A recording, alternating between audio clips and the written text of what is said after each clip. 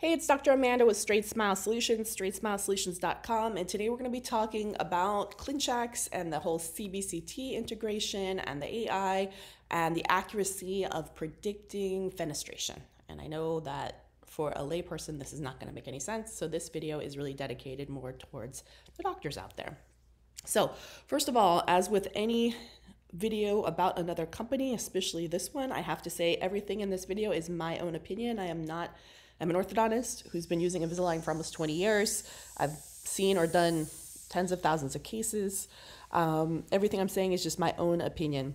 Um, I have no beef with Invisalign, um, so any criticism that I give is my own opinion. Invisalign Align Technology, if you do not like what I've posted, you're welcome to send me a very pleasant email and ask me to change it and give me the verbiage, take it down. I have been asked by doctors to make this video, so if you guys aren't going to provide this solution, somebody has to provide it, and I guess that is me. So the question is I mean, I love the CBCT integration, I think it's a game changer.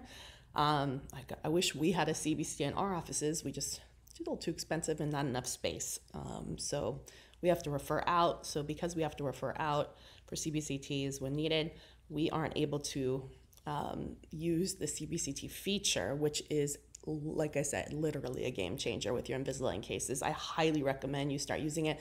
It's a little bit clunky, so I have a few videos made with the instructions. You can go into my channel, Straight Smile Solutions.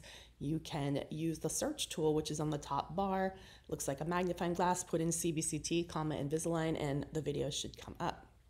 Um, otherwise, ask your territory manager. They can help you out, or you can call um, Align Technology and they can walk you through it. Once you figure it out, it works out great. Um, but the question is about those little. So, okay, so the idea about the CBCT and the ClinCheck is that, and I can't show you one because, like I said, we don't have it in our office, but I work with doctors who use it, so I don't have the release in order to show it. And also, Invisalign Align Technology tends to get very upset at me when I show ClinChecks because they think that's their property, even if it's my patient. So I guess it's their technology. So unless I have permission, they like to make me take it down, so that's why I'm not showing it especially since it's going to be a little bit of a criticism. Um, but what basically I think is so cool, and I and I think I really do believe I haven't seen any of these cases finished yet, but I do really believe it's quite accurate for the most part. Um, I mean, obviously, if you worked with me on a ClinCheck, you know, support session before, you know that let's say you don't have a CBCT and I say, hey, take a Ceph. Oh, I don't know. I don't think this is a good idea to procline this or to expand this. I think you're going to push it through the bone. You know, I'm just looking at anatomy. I'm just looking at gingiva. I'm just looking at photos. I'm just looking at the patient's age. I'm just looking at the patient's perio charting. This is just based on experience and the Ceph that I feel like I'm pretty accurate if you don't have it.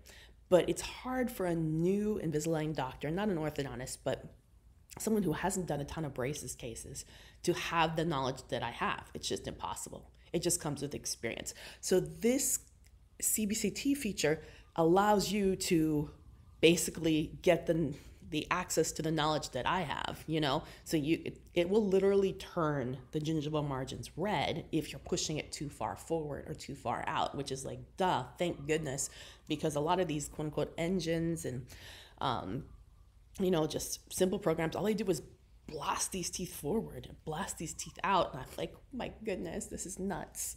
So um, I'm thankful that they have it because now I don't have to argue with doctors when they want to just push things forward and out. So I'm like, hey, look, you can't. It turns red. You're going to devitalize those teeth. You're going to damage those roots. You're going to have fenestration. You're going to push it through the bone. So that's cool.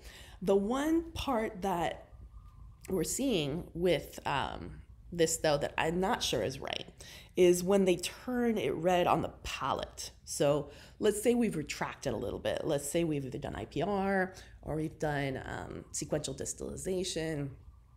And then you start to see the red scalloping on the palate, you know, behind, say, 7, 8, 9, 10, 11, or upper 3 to 3. I don't think that's a thing.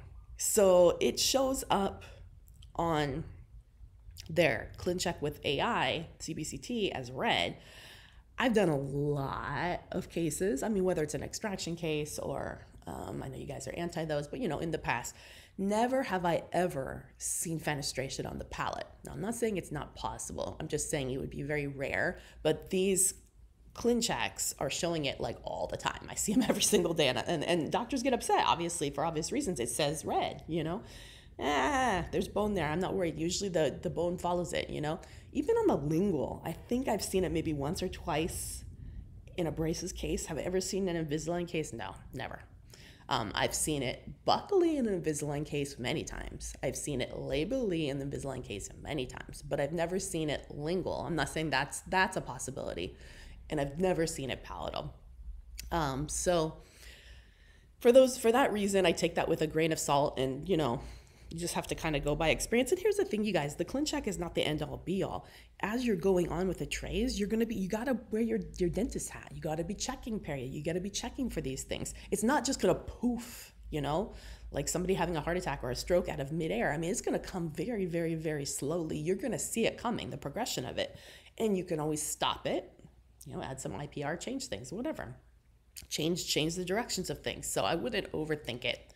But um, yeah, for the most part, I think you should be using, if you have a CBCT you, and you do Invisalign, 100%. And remember, this is AI. I'm sure they built it on quite a few cases, but in time, they're to modify it. So hopefully, they'll lighten up a little bit on the whole um, palatal red marks. All right, thank you.